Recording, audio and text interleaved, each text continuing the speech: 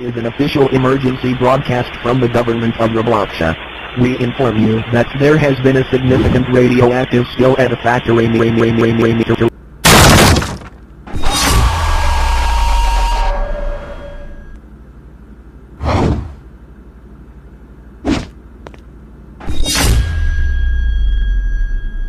Multiple unknown anomalies have been reported soon after the incident.